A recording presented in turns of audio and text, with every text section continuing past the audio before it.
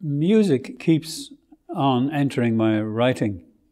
Um, and music is an essential sustenance for my life, really.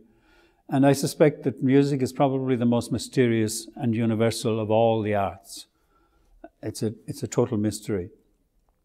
Uh, so it, it's, it's a constant with me.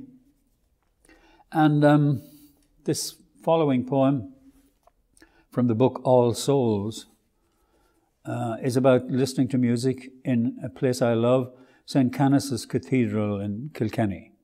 Beautiful building and a beautiful place for music. Uh, I was there one late summer's evening to hear a recital by a French uh, concert pianist called Pierre Réach, uh, who was playing, uh, amongst other music, a Beethoven sonata and the slow movement of the Pathétique, Beethoven sonata. Um, the musical direction for which is adagio cantabile, which means flowing and song-like. Uh, close by, close to me in the audience, there was a woman with a small infant in her arms. And it seemed like a hazardous thing to do to bring a small infant to a concert like that.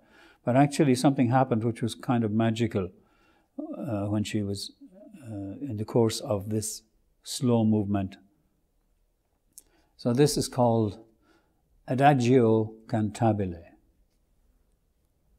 When hands touched chords and Beethoven entered the cathedral, the infant might have cried, but did not.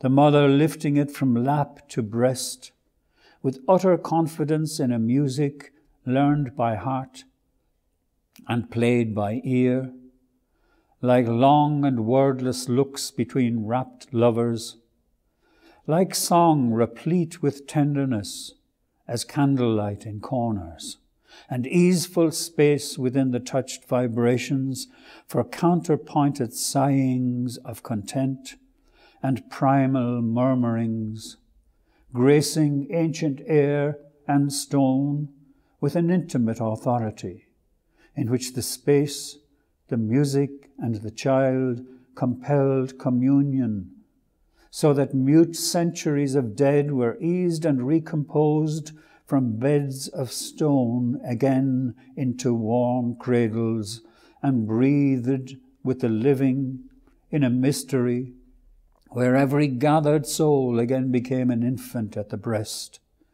In a cathedral cradled round a font in which the fish of time swims in the ocean of eternity. Outside the windows, enfolding dark, composed and nocturne, like a blessing on a harvest safely home.